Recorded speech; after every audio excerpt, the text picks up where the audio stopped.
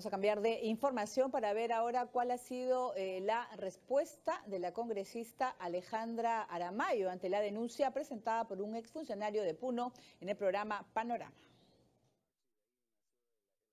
¿No? Yo, yo creo que soy pasible, víctima de un sicariato periodístico, donde algunos usan chaveta, la congresista de Fuerza Popular, Alejandra Aramayo, reaccionó así ante la difusión en la prensa de una denuncia de extorsión en su contra por un exfuncionario de Puno en el año 2000.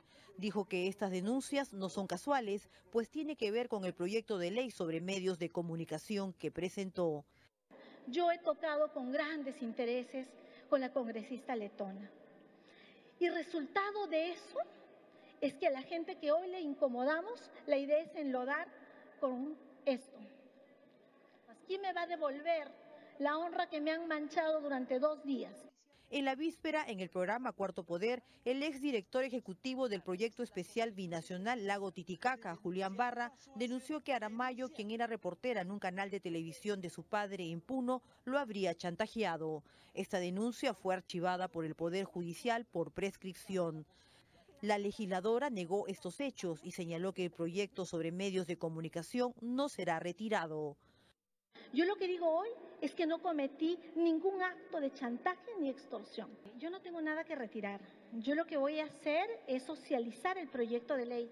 La gente no sabe por qué han dicho que es la ley mordaza, que es la ley este, contra la libertad de expresión, la ley que... Y no es así. El congresista Johnny Lescano pedirá a la Comisión de Ética investigar las acusaciones contra Aramayo.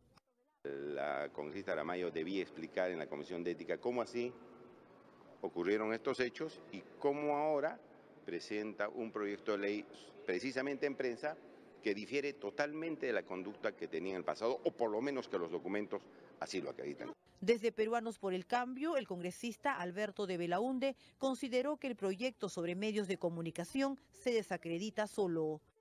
El proyecto es lo suficientemente negativo y polémico como para desacreditarse solo, eh, independientemente del pasado de cualquiera de las autoras. El legislador de Belaunde espera que Aramayo y Úrsula Letona retiren el polémico proyecto de ley y escuchen a legisladores de su propia bancada que se muestran en desacuerdo con esta iniciativa.